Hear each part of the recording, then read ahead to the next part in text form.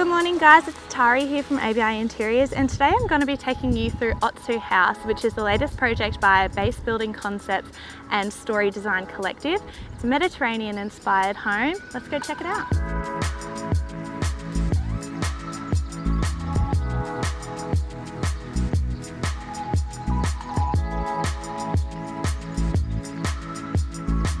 So through the full pivot front door, and what an impactful entrance.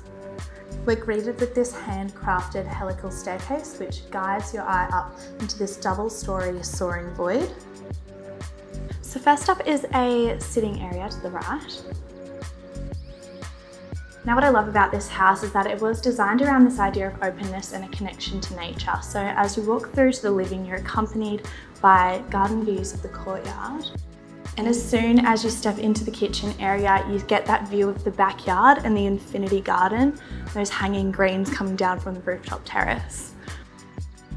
So here we have the formal sitting area and the ceilings are just so high in this space. They actually step up from that suspended concrete there.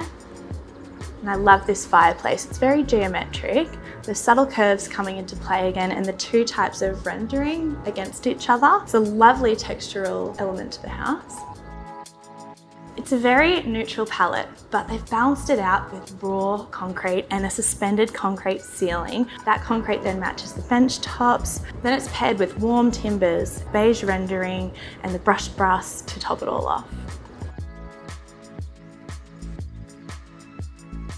Now the finishes are obviously aesthetic choices, but they're also lasting choices. We're in very close proximity to the beach here. It is quite literally just beyond the trees out the back. So the materials used needed to be enduring to withstand this casuarina weather. And here we're into the alfresco area. I just want to show you this custom built cabinetry here. Again, that rendering paired with the warm timber, just gorgeous. Now let's head upstairs.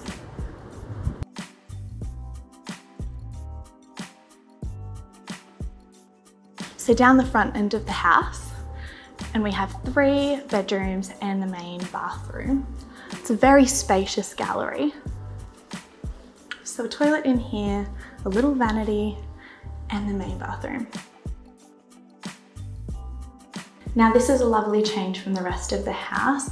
The addition of these terracotta tiles are quite different from the neutral tones that we saw downstairs, but it's balanced out with white rendered cabinetry and note the soft curves on here as well.